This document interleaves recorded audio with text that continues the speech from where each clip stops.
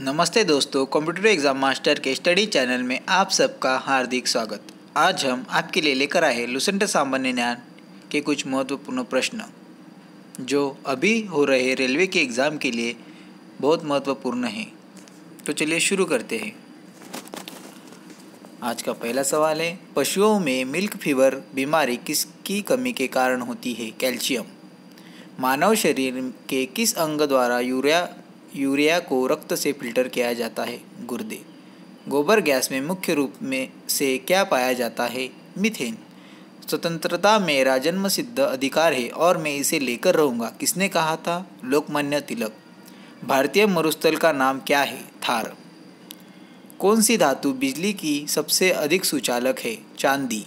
राज्यसभा के सदस्यों का चुनाव कितनी अवधि के लिए किया जाता है? छः वर्ष। हिंदी भाषा की लिपि कौन सी है? देवनागरी, सन 2020 में ओलंपिक खेल कहाँ हो गए? Tokyo, Japan.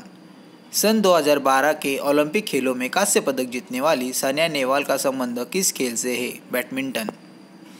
द्रव, सभी दिशाओं में समान दाब पारित करता है। यह कथन किस नियम से संबंधित है? पास्कल का नियम। क्लोरोफिल का खनिज घटक क्या है? मैग्नीशियम। ओलंपिक खेलों में पदक जीतने वाली पहली भारतीय महिला खिलाड़ी कौन है? कर्नम मल्लेश्वरी।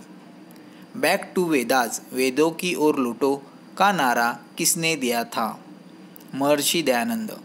प्रसिद्ध झंडा गीत, झंडा ऊँचा रहे हमारा की रचना किसने की थी? श्यामलाल गुप्त पार्षद। बैरोमीटर के पठन में तेज़ी से गिरावट किस बात का सूचक है? तूफ़ान का। काजीरंगा राष्ट्रीय अभयारण्य किस राज्य में है? आसाम। पृथ्वी अपनी धुरी पर किस दिशा में घूमती है? पश्चिम से पूर्व। उज्जैन किस नदी के किनारे बसा है? शिप्रा। एलपीजी गैस में क्या होता है? ब्यूटेन। किस एकमात्र भारतीयों को अर्थशास्त्र में नोबल पुरस्कार मिला है? प्रोफेसर अमृत सेन। उत्तरी ध्रुव में भारत के अनुसंधान केंद्र का नाम क्या है? हिमाद्री। एक ओलंपिक में सर्वाधिक स्वर्ण पदक जीतने वाला खिलाड़ी कौन है? Michael Phelps. हमारे आकाशगंगा का नाम क्या है? दुग्ध में खेला या मिल्की वे? आधुनिक ओलंपिक खेलों की शुरुआत कब और कहाँ से हुई? एथेंस, यूनान में अठारह सौ छियानवे से। ओलंपिक ध्वज में कितने गोले हैं? पाँच।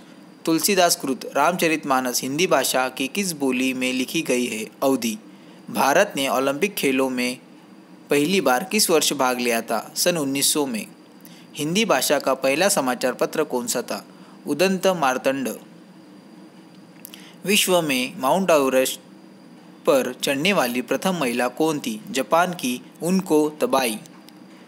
भारत किस खेल में ओलंपिक खेलों में आठ बार स्वर्ण पदक जीता है? हॉकी।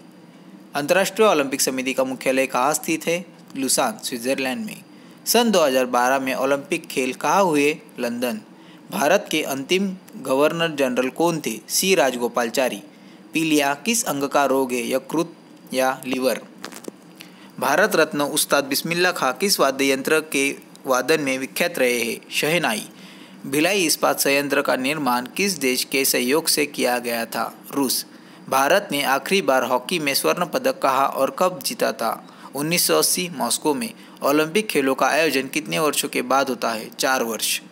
हरियाणा के राज्य कवि कौन कहलाते हैं? उदय भानु हंस। वीडियो पूर्ण, पूरा देखने के लिए धन्यवाद दोस्तों। अगर आपको ये वीडियो अच्छा लगे तो इसे लाइक कीजिए, हमारे स्टडी चैनल को सब्सक्राइब कीजिए और अपने दोस्तों में शेयर कीजिए। धन्यवाद।